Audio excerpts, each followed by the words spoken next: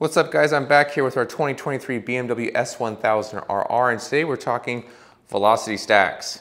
And while these velocity stacks make crazy power, and we're talking five to seven horsepower up top with no loss in the mid or low range of the power band, this bike specifically made 200 wheel horsepower and our M1000RR made 204 rear wheel horsepower and that is partially thanks to these stacks.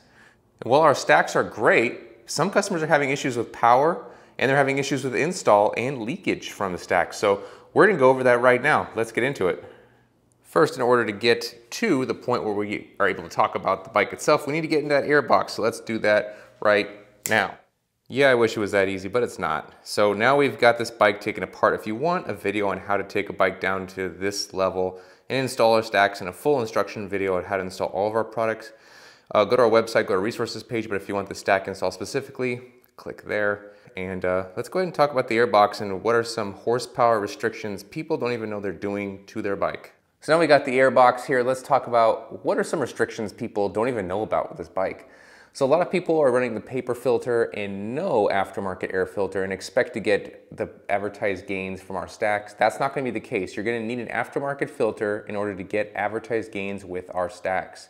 So that's one of the first mods you do with the stacks itself is the air filter itself. Now a lot of people, or some people, don't like Sprint. They may want to go somewhere else. We also offer DNA in our website now, and I'm running the Sprint filter on our S1000RR, and I'm running the DNA on our 23M1000RR. And if you remember right, our 23M1000RR made 204 rear wheel horsepower on 91 pump gas. And that, that was it with our Velocity Stacks filter, all our other stuff.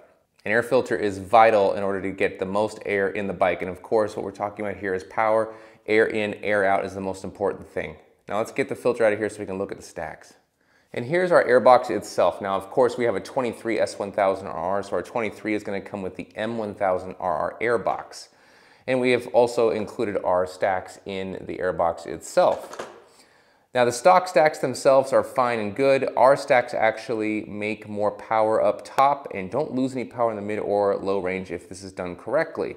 And I've also seen another thing I'll bring up to everyone's attention here is this vital part right here on top of the airbox. This right here is the servo that moves the funnels up and down. Without moving these funnels up and down, your bike loses a ton of power. So if you are putting your bike back together, and you lay the harness on top of this, it's really easy to forget about plugging this piece back in right here. So just a recommendation, you guys should always, if you have a huge, massive power loss uh, after you installed our stacks, it's most likely due to the fact that you didn't plug this back in. We've seen it multiple times. Another complaint we get here is about oil in the airbox. Now, the oil in the airbox isn't from the stacks. The oil in the airbox is from a breather tube. Now, there's a breather tube in the back of this thing right here this actually connects to the engine, and if you overfill your oil, or if your motor's a little bit loose, you're just gonna start sucking up all kinds of oil into the airbox. And when it does that, I mean, you can see there's no oil in ours, but when it does that, you can see the oil gets into the airbox, starts misting all over through here, and actually gets inside the motor. And if you got enough oil going inside of your motor, it's gonna reduce your octane. Uh, if there's enough oil in there. So you wanna make sure there's no oil in, your, oil in your airbox. And if it is, you may have a loose motor. If it isn't a loose motor, maybe you've overfilled your oil and that could be a cause of it filling up the airbox. Now, a little bit of misting is fine, but heavy, like it's dripping, dripping, and there's like a puddle in this thing, that's a problem. And the reason people are complaining is because our stacks aren't a complete seal against the airbox, meaning there's a little bit of leeway right there. See, like a little bit of give right there. Now, our stacks are perfectly round, but sometimes the hole that BMW created in this airbox is out of round, meaning it's not a perfect circle. So you can see this one's a little bit loose, this one here, a little bit loose too. And you should be able to turn this thing over and see just from this, you can see it's a little bit loose right here. So if you're leaking oil from the velocity stack itself, it's not a result of the velocity stack, it's because your motor obviously is projecting oil and it shouldn't be doing that in the first place. But if you'd like it to stop and you'd like to keep the oil in the airbox, I'm gonna show you how to do that.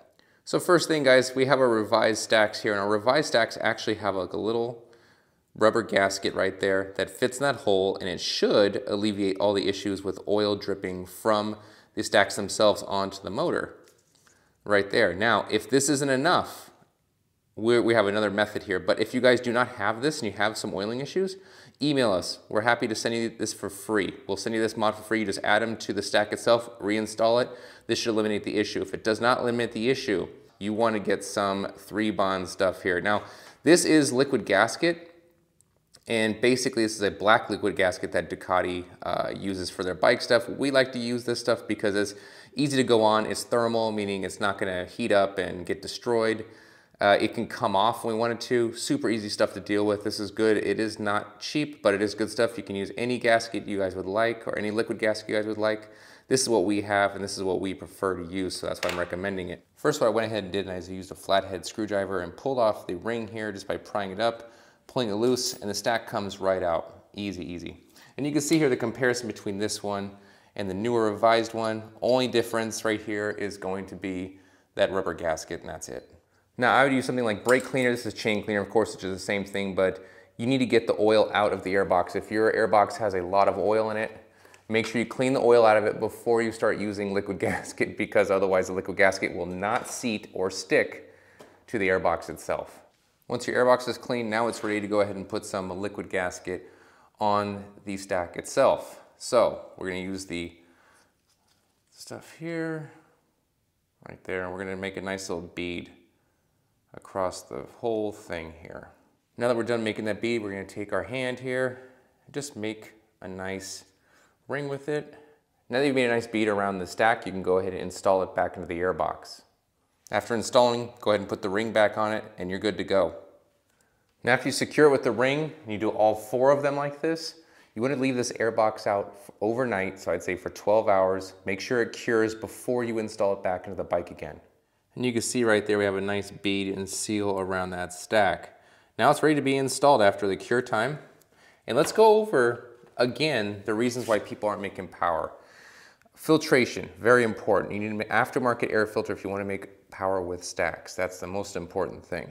You want to make sure there's no oil in your air box. And if there's an excessive amount of oil, we want to reduce that. So again, you want to make sure that the oil level on your bike is where it's supposed to be. Next, make sure you're plugged in right up here. Make sure these funnels are plugged in. If they're not, you're gonna lose a whole bunch of power. Not just on the dyno, you'll feel it. It'll feel like the bike is just a dog. So make sure you plug that in. Also, make sure you're not filling your box with oil. So if your motor's loose, that's one thing, but if you guys are purposely overfilling your oil, this air box will fill up too. And like I said, the more oil gets in this air box, the more it atomizes and goes in the combustion chamber and lowers your octane. That will reduce your power 100%. Again, guys, the stacks themselves are not leaking. It's just that the air box is out of round, meaning it's not perfect, and the oil leaks through this. I'm more than happy to give you guys the gasket on these for free, or you guys can do your own siliconing on the gaskets, or sorry, on the airbox itself, silicone the stacks to the airbox to ensure this does not happen. The reason why it doesn't happen with the stacks is because the rubber stacks that are stock are malleable and move within that hole and move to the actual portions of the hole, whether it's round or not perfectly round. That's why it's blocking the oil coming out. But regardless, the stack's not creating the oil, the bike is creating the oil, it's just you're actually seeing it. Also with stacks, it's important to mention that our IET kit, you see the IET way back there, that little metal piece right up there, that's important to keep the bike's power consistent, especially for on a dyno. It's not gonna read a, a crazy temperature, it's gonna read a much lower temperature, which will help you make more power on the dyno as well. So I think that's gonna do it for us today, guys. If anyone has any concerns or questions, please feel free to email us at sales at bt-moto.com. We're very, we're very good about getting back to our customers and alleviating any concerns whatsoever, as well as we have a very knowledgeable staff that can help you with any issues you may be having. If you have any more questions, go ahead and post them up in the video. We may make some videos based on your questions. Now um, I get to have the pleasure of putting this whole thing back together again, and uh, I'll see you guys in the next one.